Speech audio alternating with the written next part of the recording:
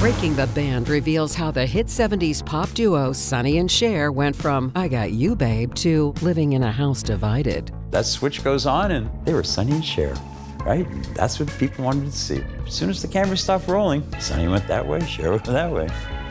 That was it. The show asks if their on screen relationship was real or just part of the act. There's a real disconnect between what's being portrayed on screen and what's going on in the dressing room. Pretending that the person you love more than anyone else is right next to you and knowing that they're trying to take advantage of you is probably why, when people weren't watching, you saw that escalation of emotion happening. Experts say Cher signed a one sided contract and wanted out. Cher worked for Sonny. Cher had no control over any of it. Every penny she made and every penny he made, they went into the one account that he controlled. He thought, yes, she's the show person, but I'm doing the business that's worth more than being on the stage. There's a difference between being taken care of and being taken advantage of. And Cher began to believe that Sonny had crossed that line.